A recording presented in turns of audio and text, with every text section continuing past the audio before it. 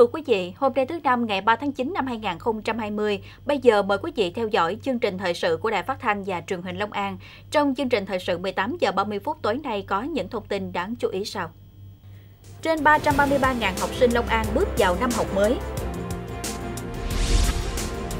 Thành phố Hồ Chí Minh đảm bảo an toàn cho năm học mới. Liên Hiệp Quốc ước tính sẽ có 83 đến 132 triệu người có nguy cơ bị đói vì dịch Covid-19. Thưa quý vị, sáng nay ngày 3 tháng 9, Phó Bí thư Thường trực tỉnh ủy Nguyễn Văn Được chủ trì và trao các quyết định của Ban Thường vụ tỉnh ủy về công tác cán bộ.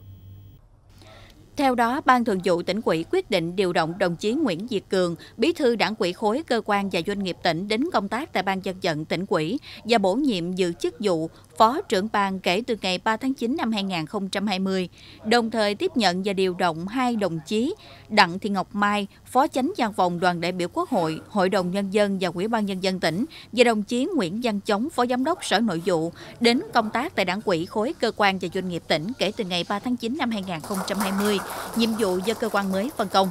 Tại buổi công bố và trao quyết định, Phó Bí thư Thường trực tỉnh ủy Nguyễn Văn Được mong muốn các đồng chí được điều động bổ nhiệm trong đợt này tiếp tục nỗ lực phấn đấu rèn luyện để xây dựng tập thể đơn vị vững mạnh, góp phần cho sự phát triển của tỉnh cũng như thực hiện tốt công tác tham mưu cho tỉnh ủy, Ủy ban nhân dân tỉnh trong công tác lãnh đạo chỉ đạo. Riêng các đồng chí được điều động về đảng ủy khối cơ quan và doanh nghiệp tỉnh sẽ nhanh chóng nắm bắt công việc, nhất là cùng tập thể chuẩn bị tốt công tác đại hội đại biểu đảng bộ khối chu đáo để đại hội thành công tốt đẹp.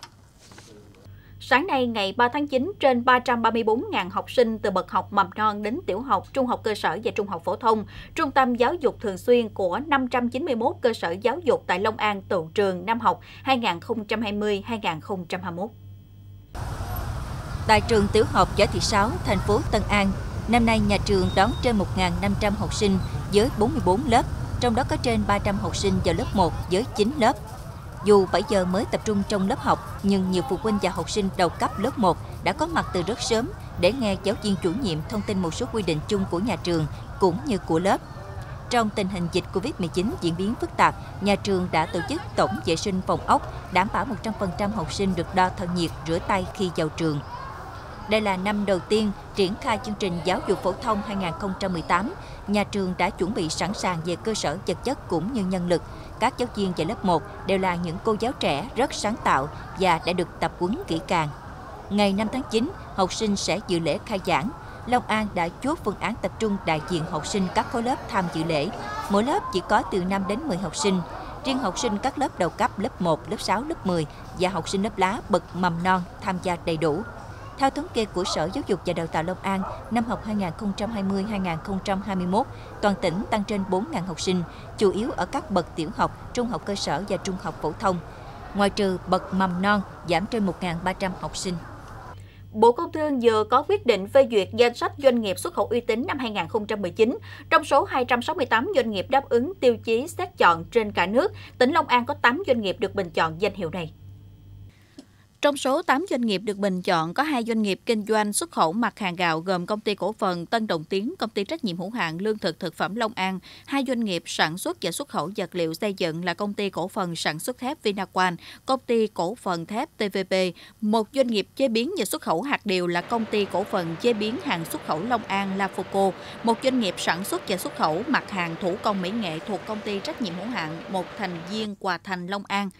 Một doanh nghiệp sản xuất và xuất khẩu bình ắc quy là công ty trách nhiệm hữu hạn Lê Long Việt Nam và một doanh nghiệp sản xuất và xuất khẩu thức ăn chăn nuôi thuộc công ty trách nhiệm hữu hạn khoa kỹ sinh vật Thăng Long. Chương trình xét chọn doanh nghiệp xuất khẩu uy tín được Bộ Công Thương thực hiện hàng năm nhằm ghi nhận đóng góp tích cực của các doanh nghiệp vào tăng trưởng xuất khẩu chung của Việt Nam. Đồng thời, hoạt động này cũng giới thiệu quảng bá các doanh nghiệp xuất khẩu uy tín của Việt Nam đến đối tác nước ngoài. Trước những diễn biến phức tạp của dịch COVID-19 để đảm bảo hoạt động tín dụng chính sách, đưa đồng vốn ưu đãi đến với người nghèo kịp thời, đảm bảo an toàn trong phòng chống dịch bệnh, Ngân hàng Chính sách Xã hội chi nhánh Long An đã triển khai nhiều giải pháp được các phòng giao dịch thực hiện nghiêm túc.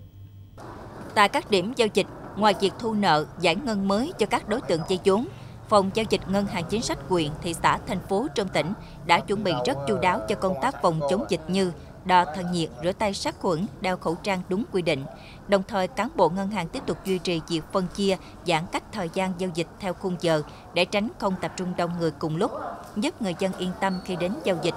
Bên cạnh đó, tại các điểm giao dịch, cán bộ ngân hàng chính sách còn phối hợp với chính quyền địa phương, tuyên truyền hỗ trợ tổ trưởng tổ dây vốn và người dân cài đặt Bluezone, ứng dụng cảnh báo người dùng nếu có tiếp xúc gần với người nhiễm COVID-19, góp phần ngăn ngừa dịch bệnh. Theo dự báo của Đại khí tượng Thủy văn tỉnh Long An, thời gian xuất hiện đỉnh lũ cao nhất năm 2020 tại các quyện đầu nguồn phía Bắc của tỉnh vào khoảng đầu đến giữa tháng 10. Theo đó, dự báo mực nước đỉnh lũ năm 2020 tại các trạm nội đồng phía Bắc của tỉnh ở mức cao hơn báo động 1 đối với những vùng trũng thấp sắp xỉ báo động 2, Cụ thể, tại Tân Hưng đạt 2m4 đến 2m5, cao hơn báo động 1 từ 0,2 đến 0,3 m. Tại Mộc Quá trên sông Dầm Cỏ Tây đạt 1,45 đến 1,55 m, thấp hơn hoặc sắp xỉ đỉnh lũ năm 2019 và ở mức cao hơn báo động 1 từ 0,25 m đến 0,35 m. Thời gian xuất hiện đỉnh lũ cao nhất trong khoảng đầu đến giữa tháng 10. Theo đó, ngành nông nghiệp tỉnh đã chỉ đạo các đơn vị liên quan thường xuyên cập nhật, nắm bắt thông tin diễn biến khí tượng, thủy văn, đảm bảo chủ động sẵn sàng ứng phó trước diễn biến bất thường của thiên tai. Thưa quý vị và các bạn, những năm qua, huyện Cần Duộc đã có nhiều nỗ lực trong quy động mọi nguồn lực để thực hiện tốt công tác an sinh xã hội, chăm lo cho các đối tượng gia đình chính sách, thực hiện hiệu quả công tác giải quyết việc làm, hướng đến mục tiêu giảm nghèo bền vững. Phát huy truyền thống đoàn kết tương thân tương ái, công tác chăm lo đời sống vật chất tinh thần cho người nghèo trên địa bàn quyện đã nhận được sự quan tâm chung tay của đông đảo các tầng lớp xã hội. Cùng với các chính sách của đảng, nhà nước, Quỹ vì người nghèo các cấp đã trợ giúp hàng trăm hộ nghèo xây mới, sửa chữa nhà ở. Bên cạnh đó, các chính sách hỗ trợ về dạy nghề, giải quyết việc làm, y tế, giáo dục cũng được quyện đặc biệt quan tâm nhằm tạo điều kiện cho người nghèo phát triển sản xuất, dâng lên ổn định cuộc sống. Quyện hỗ trợ vốn vay ưu đãi từ nguồn vốn ngân hàng chính sách xã hội và chương trình dự án giảm nghèo. Đến nay, các ban ngành đoàn thể nhận ủy thác từ Ngân hàng Chính sách và Xã hội quyện hỗ trợ cho 3.400 hộ nghèo, hộ có hoàn cảnh khó khăn vay vốn với số tiền hơn 96,7 tỷ đồng. Qua đó, góp phần giảm tỷ lệ hộ nghèo trên địa bàn quyện còn 1,37%. Trước đây hoàn cảnh cũng khó khăn, tôi nhờ vay vốn ngân hàng chính sách, giờ tôi làm ăn được tôi cũng thoát nghèo, gia đình tôi cũng làm ổn định. À, hồi xưa tôi trồng theo truyền thống là 2.000 mét vuông mà tưới thời gian tới một tiếng. Bây giờ chờ có nhà nước hỗ trợ vay 50 triệu, trồng giờ là tưới là 15 phút đồng hồ, tiết kiệm được thời gian của mình. Trong năm 2020, tình hình dịch Covid-19 diễn biến phức tạp đã ảnh hưởng không nhỏ đến kinh tế của huyện, trong đó nhiều người nghèo lâm vào hoàn cảnh khó khăn. Trong đợt cao điểm dịch vừa bùng phát, từ nguồn kinh phí các cấp và xã hội hóa đã hỗ trợ gần 10.000 phần quà, hàng chục tấn gạo với tổng kinh phí hơn 3 tỷ đồng cho các đối tượng. Đồng hành cùng cuộc chiến chống dịch COVID-19 đầy cam go của dân tộc, lực lượng y bác sĩ, những chiến sĩ áo trắng luôn ở tuyến đầu ngày đêm thầm lặng để cùng với chính quyền và nhân dân đẩy lùi dịch bệnh, đảm bảo sức khỏe cho mọi người dân. Hơn 20 năm khoác lên mình chiếc áo blue trắng, từng tham gia nhiều đợt chống dịch, nhưng chưa bao giờ bác sĩ Lê Văn Do phải trải qua khâu bảo hộ nghiêm ngặt như thế này. Phục vụ tại khu cách ly tập trung Lâm Viên Thanh Niên huyện Thanh Hóa, dù thường xuyên mặc bộ đồ bảo hộ kính mít trong thời tiết nắng nóng, rất bí bách, khó thở, lại phải cắm chốt 24 trên 7. Trực tiếp tiếp xúc với những người trở về từ vùng có dịch Covid-19 với nguy cơ lây nhiễm cao. Nhưng bác sĩ Do và đồng nghiệp luôn nêu cao ý chí, bản lĩnh. Lặng lẽ chấp nhận hy sinh, dành trọn tâm sức để làm tròn sứ mệnh vì sức khỏe nhân dân. Nhiệt độ của chị bữa nay là 36 độ 6, là trong cái uh, mức uh, bình thường tốt ha vâng. còn rồi mấy bữa nay sức khỏe chị có thay đổi gì không ăn thấy uh, sức khỏe ổn định à. Vâng, tốt ạ rồi yeah. Dạ. cái khâu mà phục vụ về y tế về, về phục vụ ăn uống rồi chị thấy là mấy anh em làm tốt không vâng tôi thấy rất tốt ạ vì là tôi thì người bắc nhưng mà dạ. thấy vào đây thì lúc đầu cũng sợ là ăn đồ ngọt nhiều nhưng mà tôi thấy cái gia vị cũng cũng cũng ăn cũng ngon cũng thấy ngon miệng và cũng thấy sức khỏe đảm bảo cái điều kiện ở đây nói chung thì ờ, ác hẳn nó không được uh, đầy đủ thuận lợi như nhà rồi vâng. nhưng mà mong rằng mấy chị cũng cố gắng khắc phục chia sẻ dùm với quy địa phương chúng tôi để mong làm sao mục đích cuối cùng là sau ngày thứ 14 hoàn toàn cách ly thì mọi người đều về quê được mạnh khỏe hết.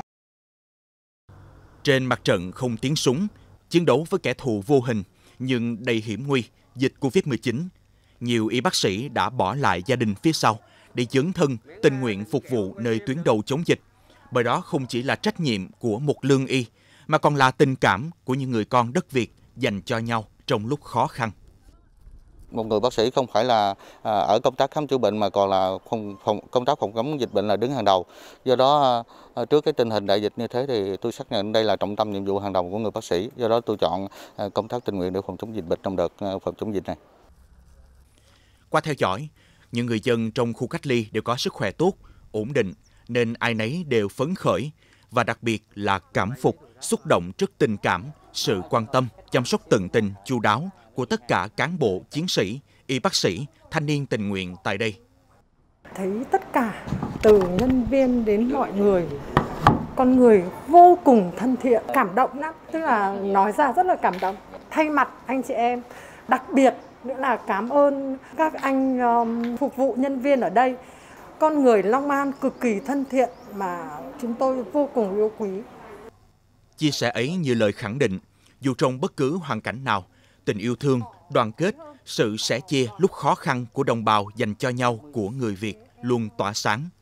Đặc biệt, với tinh thần dấn thân, cống hiến hết sức mình của đội ngũ nhân viên y tế, cán bộ chiến sĩ tại các khu cách ly, chúng ta tin tưởng rằng Việt Nam sẽ chiến thắng đại dịch một ngày không xa.